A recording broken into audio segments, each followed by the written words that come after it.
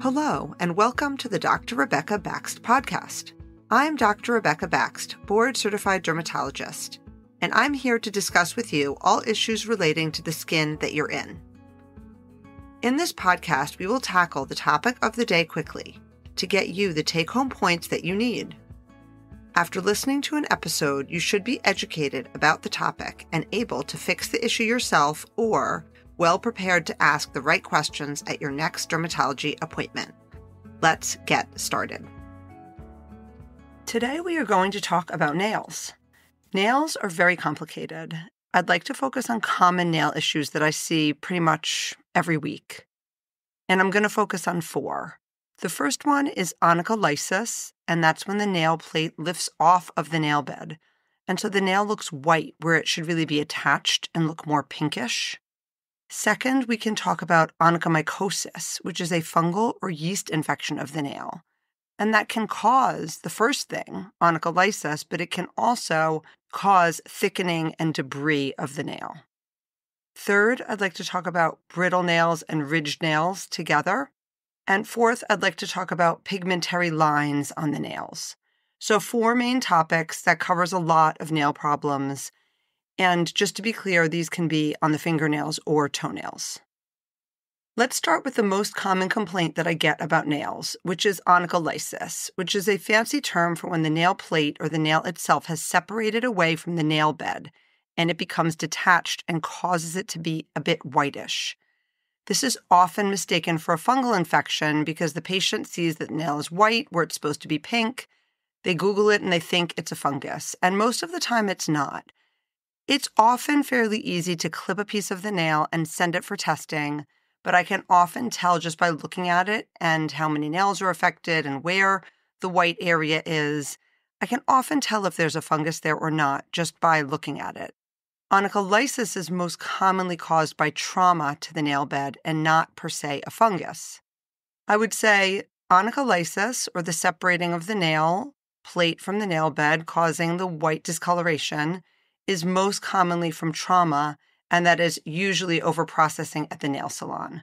But it can also be from ill fitting shoes or runner's toe from constantly banging the front of the toe into the front of the shoe.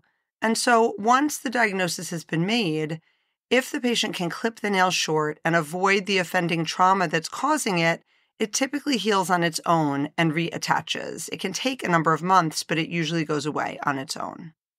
I will often also recommend for this issue to keep the nails out of water. So if you do dishes or cleaning, to wear gloves during that. Soaking the hands in water can make onycholysis worse.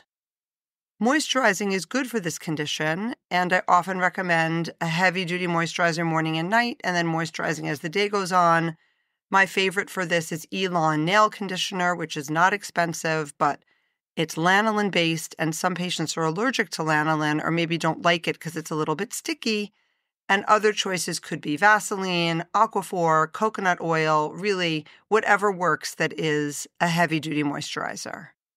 Keeping the nails short helps because then there's no pressure on the pulling up of a long nail, causing it to separate more from the nail bed.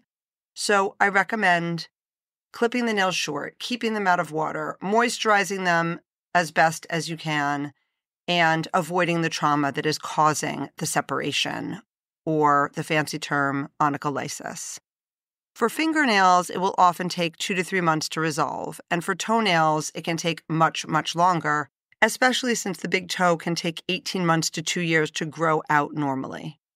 The next most common issue that I see with nails is onychomycosis, and that term typically covers both fungal and yeast infections of the nail. This is very, very common, and it's often hard to distinguish it from onycholysis that I just was talking about. So, this is where you really need a nail expert. Because sometimes when there's a nail infection, it can cause the onycholysis, but just because there's onycholysis doesn't mean that there's a fungus. Fungus is often a thickened nail, and it often crumbles off and separates. The best way to diagnose it is to take some nail clippings and send them for one of two tests either a fungal culture, which includes a KOH stain, or a PAS stain at the pathology lab. I will often do both because sometimes one is negative and the other is positive, And these problems are very distressing for patients. So I'd like to try to figure out what is causing it. And also, the PAS stain tends to come back much more quickly, usually within one to two weeks. But the fungal culture, while you can get the KOH part of it quickly to give you an idea, the full result is often four to six weeks later. So, assuming the patient is positive on one of these tests and they do have either a fungus or a yeast, in my opinion, the only truly effective treatment are oral antifungals. So these are pills and they do have side effects. There are other treatments for onychomycosis. Some people will do lasers for the nails. Some people will apply antifungal creams. There's special prescription nail polish. But in my opinion, none of it really works well. So, as long as the patient can tolerate the oral medication and has normal blood work, I will encourage them to take the pills if they want to treat the problem. Treating the fingernails, it's usually two to three months of pills. The toenails are often three to four months of pills. I will often give oral Lamisil, otherwise known as terbinafine pills, and check blood work monthly, or oral Sporanox pulse therapy, which is one week out of the month. Sporanox tends to have more drug interaction, so I often will use the terbinafine pills. But there are some patients who have a yeast instead of a fungus, and then the terbinafine or the Lamisil is not going to work well for them.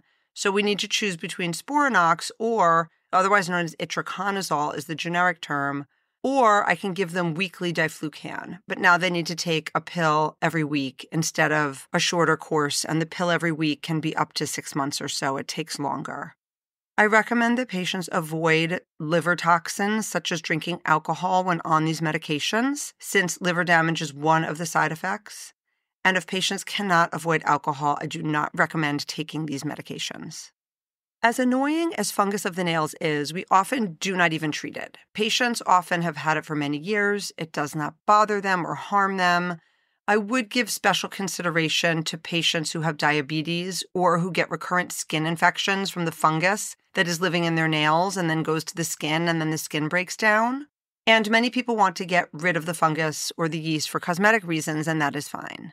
But sometimes we just leave it alone and let it go, and that is also fine. The next most common complaint that I get about nails after onycholysis and onychomycosis is brittle and ridged nails. And these are changes that often happen with age, and there is really not much that we can do about them. I recommend eating a healthy diet, keeping the hands out of water, using a great moisturizer, which we already talked about a few times a day, if nail polish makes the nails feel better, then I'm fine with patients using nail polish for this because it evens out the ridges and sometimes their nails feel stronger with the nail polish. But there is really not much more to say or do on the brittleness and ridging of the nails as we get older. The last topic is a pigment line on the nails. And while this is usually benign, it can be a sign of skin cancer. So we always have to examine the nails and check for pigmentary lines. This is part of what I do in a skin cancer screening, for example. But oftentimes patients will come in with a line on their nail and ask, What is this? And I would say that the darker someone's skin is, the more likely they are to have normal pigmentation of their nails. Their skin is darker, their nail pigment can be darker. And when there are lots of pigment lines and they are stable and not changing, I usually will just photograph them and watch them, and this is normal. These are normal pigment lines of the nails.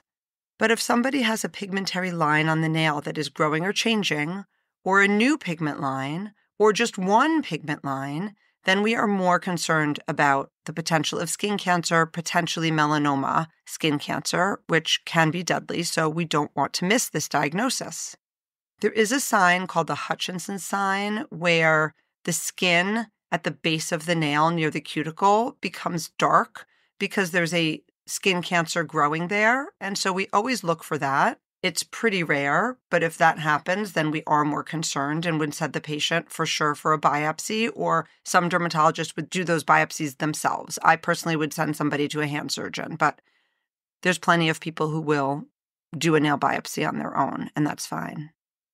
I would say that skin cancer of the nail is very rare, and sometimes people panic when they see a little tiny dark spot on the nail but if it's a little tiny black or purple line and it's growing out with the nail and not growing back to the base of the nail, This is usually dried blood from trauma and not a mole or melanoma.